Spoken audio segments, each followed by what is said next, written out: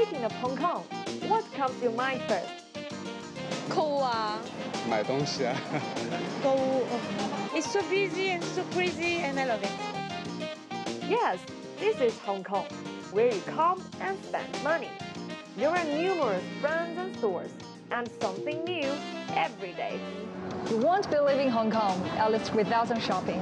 Last year, visitors to Hong Kong spent over 60% of their travel budget on shopping. For department stores like Lane Crawford, cosmetics, ladies' wear, and jewelry are among the best sellers.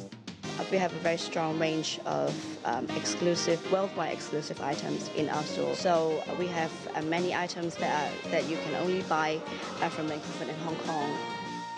People from the Chinese mainland form the largest contingent of tourists to Hong Kong, with 42 million crossing into the region last year. That's 18 times more than in 1997, when Hong Kong returned to motherland. Uh, I travel to Hong Kong every two or three months, mainly for shopping. This time I bought some shoes and baby care products. My wife and I stayed here for five days, and we spent 40,000 yuan on purchases. Hong Kong's retail value rose slightly since March after more than one year of decline.